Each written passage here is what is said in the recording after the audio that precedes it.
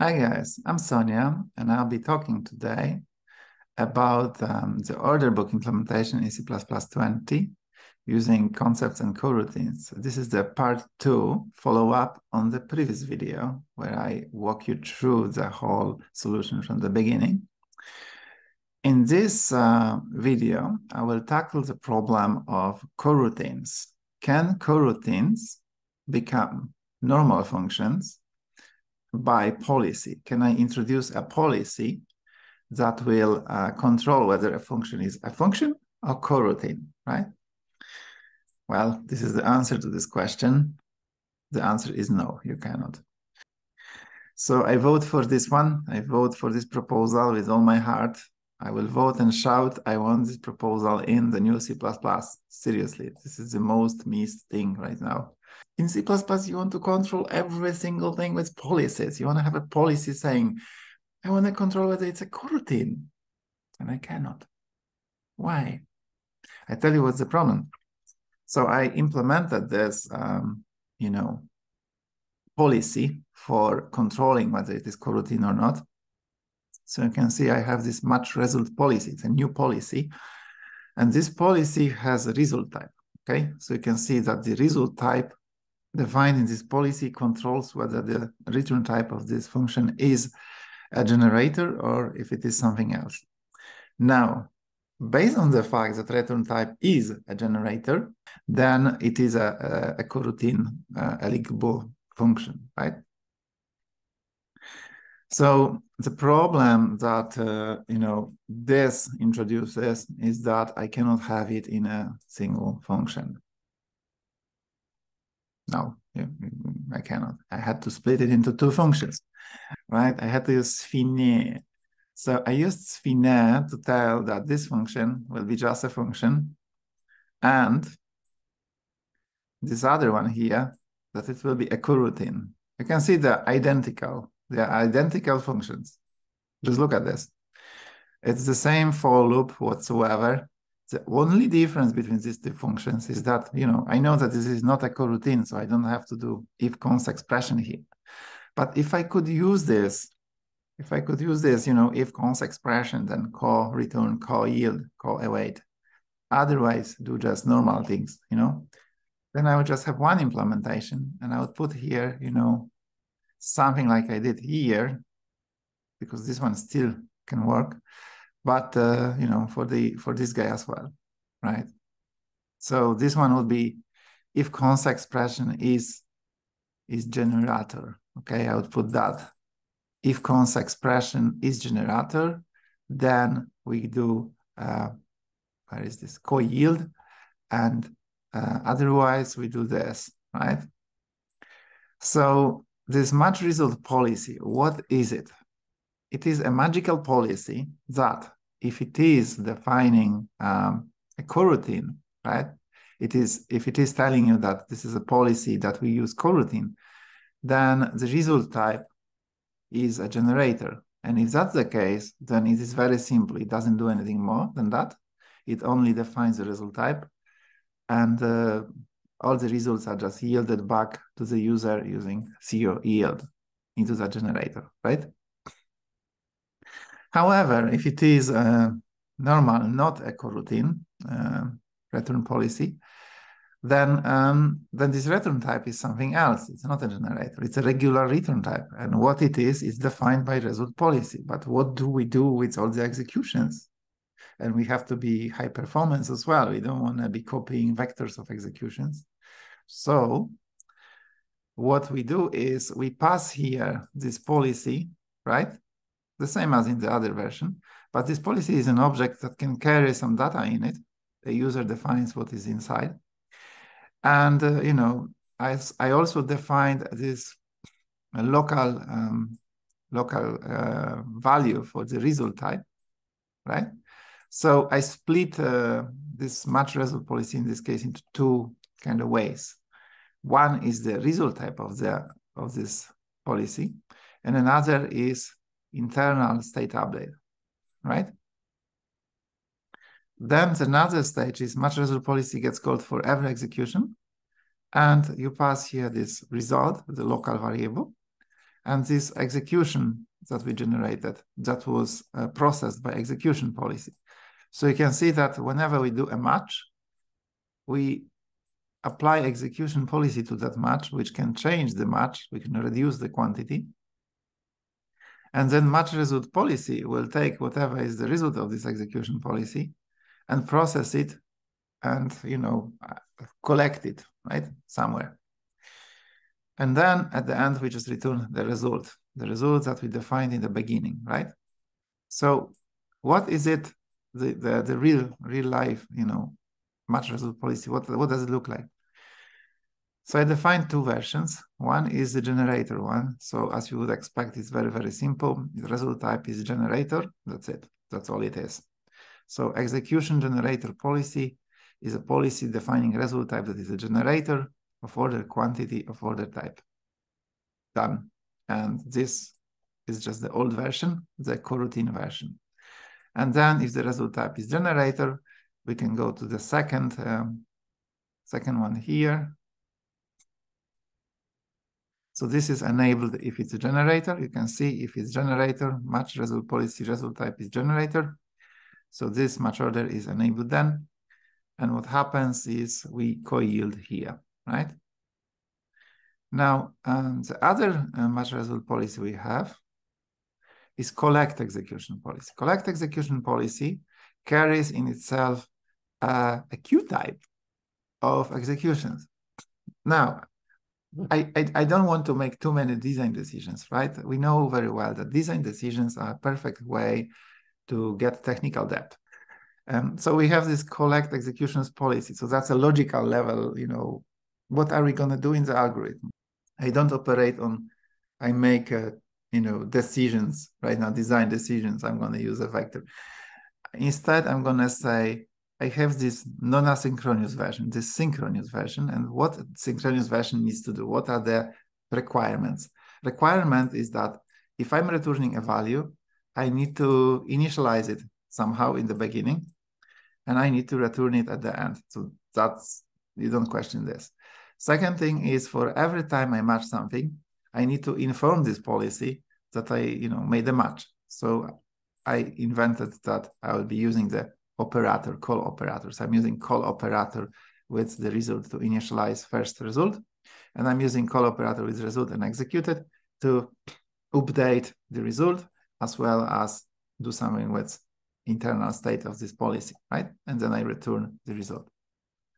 So we can see that this collect executions policy has two overloads of this operator. One of them is just setting the result type to zero, right? It's just initializing with zero. And second one is doing two things. It's incrementing the result by quantity that was executed, and it uh, emplaces into the executions that we have here, um, you know, this executions that we have here, right? So you can see I'm using this forwarding magic. Here, the type deduction happens. So these types are the same, you see, is same result type and and R remove CVREF, you know? So that's that's the trick. And we can see that executions um, is a queue where we append this uh, this next execution. And of course, um, you know, it is it is a template type, queue type. Uh, so we have queue queue type being underscore queue type with this particular order quantity order type put here by this policy here, right? And we have this requires to check that this actually is a queue. Right. Um, so what's next? So this this is the this is the synchronous one, right?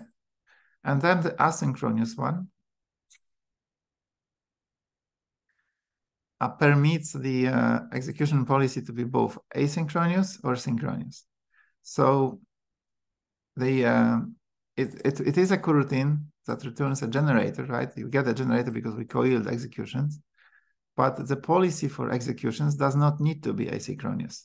So we can still be yielding the executions to the user, but we don't need to await on execution policy. Maybe you have synchronous execution policy. I put this um, const expression if here to check if it is an asynchronous execution policy, and then we co-await on it. Otherwise, we just execute it.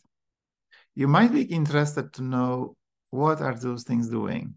What is this is generator? Uh, how do I know if it's asynchronous? How do I know if it's generator? And that's what I'm gonna have a look at with you now. So generator is some structure which I have defined. So C++ doesn't really care what is the type as long as it has inside of it a promise type. Okay, so a function, a coroutine, must return something that holds a promise type type inside it. So this generator has a promise type inside it. Now the promise type, in order for it to be a promise type, it has to have yield value for what I need it for, right? So yield value is return is required for it to be a generator. Um, perhaps if it's not a generator, then you wouldn't be using yield value. There's also co-return, right? But I need a I need co-yield to work correctly, so I need yield value. So I'm saying my promise concept, which, which would be generator promise concept, is that um, if there is a yield value, okay? So something that has a yield value is my generator promise concept. I don't have anything else, so it's a, I call it promise concept, but it's for generator. So this is yield value. Now, generator concept is something that has a type promise type inside it, which is matching promise concept. So that's how I decide de define what is a generator concept, right? So we have a generator concept. So how do we now um, tell whether you know the return type of our policy is a generator or not? So let's look again. So um, is generator is my trade, right? And how I'm using it. I'm just saying enable if and is generator, my result type, and then, you know, the type of what we're generating. So if this is generator of those things, if this is generating those things, so generator, is T a generator of A, right? And generator of integers, A is an integer, a generator of floats and so on.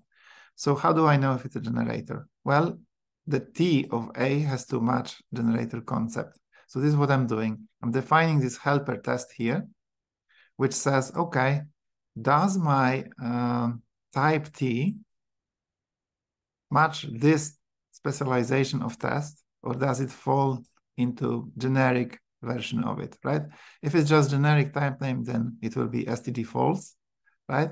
Um, if it is, um, if the T matches, um, if the T matches the generator concept of A, then then it is like this. P pretty cool thing here is look, it's it's a concept with with this parameter a here, right? So this is actually this is actually pretty cool thing. Um, yeah, so this is how I evaluate values. So say test, right? So we, we choose struct test, specialize it with uh, with t.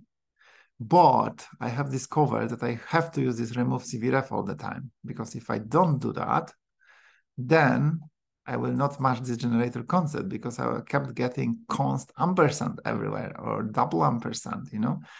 But I think I'm passing a result type here. So the result type itself would be, um, in this case, the result type would be just, uh, just a type, um, you know, it is a generator. So that would be a correct type. So it's, it's for, for this particular trait here, um, maybe this remove cvref is not 100% required. Test T would probably work as well for that particular case.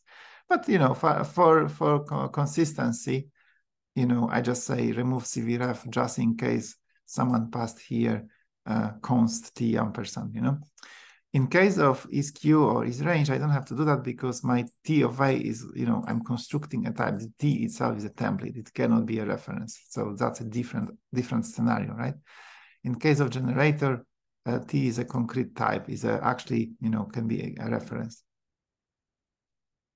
So the other other um, other trait I did was for the async execution policy, right?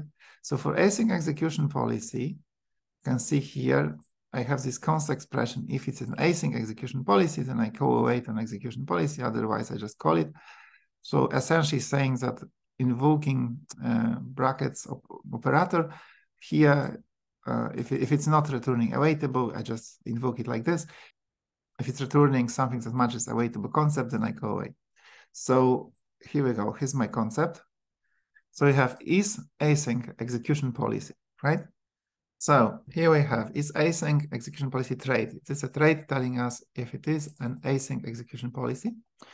And um, here's how we do it. We use the same technique. So I have a test which takes any X, and I have a specialization of this test for async execution policy concept, right? With A, which I define here. We see that the concept of async execution policy requires that this returns awaitable concept, whereas the non-async does not have any requirement. We don't know what it returns. So be, because you can say something matches execution policy concept, and it can be async or not, right? So we look into here, you can see we have this execution policy concept. And here we check, but is it async or not? And here we test for it. And again, I remove cvref because it can be const reference. So I will be passing here execution policy by value when I'm using the no operation one. And I'm also passing here by reference when I'm using um, this policy that truncates the orders to quantity right? So, so yeah, so that's why I, I need to use here the um, remove cvref.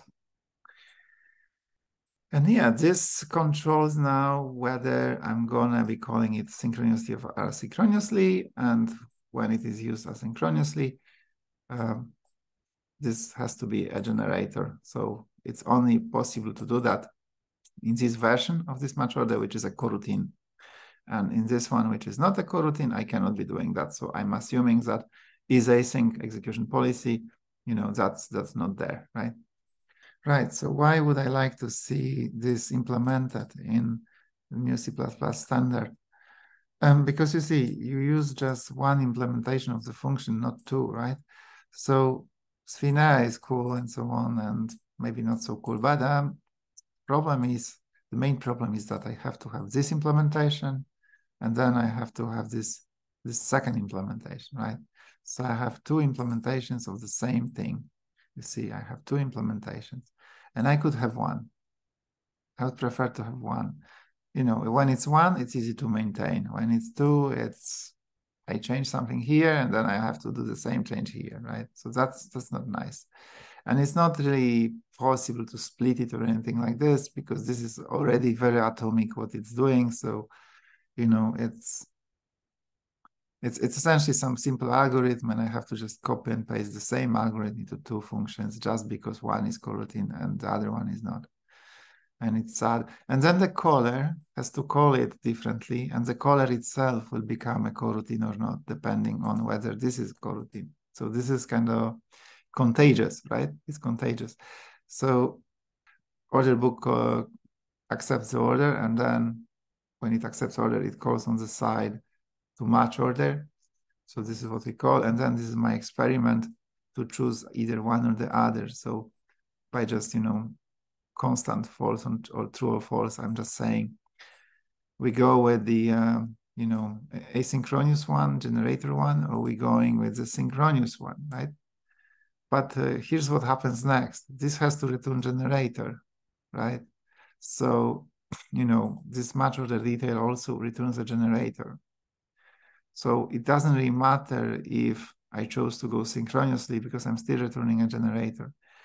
And in that uh, implementation here, I'm iterating over this executions queue, right, to, to yield back to the user. Now, why is that the case? Why can I not have this one or say just this one as two versions, right? Coroutine and not coroutine. But you see for yourself, right? So if I wanted to go this path, then I would have to do SFINAE, enable if, execute, and so on, and have two versions of this guy. Then I would go to order book, and I would have to have probably two versions of this guy as well. And then maybe I would have to still have two versions of this guy. And that doesn't really make me happy, you know? So that's why that's why I support this con- this uh, proposal that uh, this should work because then I can choose whether a function is coroutine or not coroutine with a policy without having to copy paste the code, having two versions of a function for each occasion. And it's not just one function. You can see that it propagates. And that's the main problem. Because how do I, you know, how do I use one over the other? How do I use this collect executions policy instead of execution generator policy, right? If I'm a user, if I'm writing a test, I would like to use uh, say this one to collect my execution into a vector instead of using coroutine.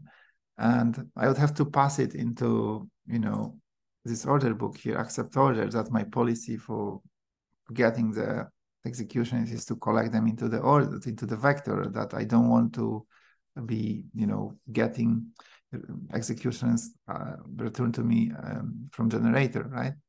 So for that, I would need really to to have a second version of this, second version of this, and and then second version of this uh, of this other thing, you know, and that just makes me sad. I did one second version at the top uh, at the well, bottom level, right at the level of the of the price level. So this is the queue of orders. You have much order. Um, and you have this SFINAE and this is just showing how would you do that to have two versions but yeah i'm not going to go further to to propagate that. I just leave this code on on my branch here. I just leave it here on my branch coro policy. And uh, you know i will wait until new c++ standard uh, produces something that i can use right? So until until i can actually you know use a cons expression to to choose between coroutine or not coroutine. You know. Thank you for watching. Like, subscribe, and so on. See you next time.